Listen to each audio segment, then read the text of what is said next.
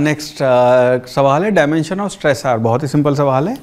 ये अपने को पता है प्रेशर या स्ट्रेस uh, जो अगर हम स्ट्रेस की बात कर रहे हैं तो डायमेंशनली उसको हम लिखते हैं फोर्स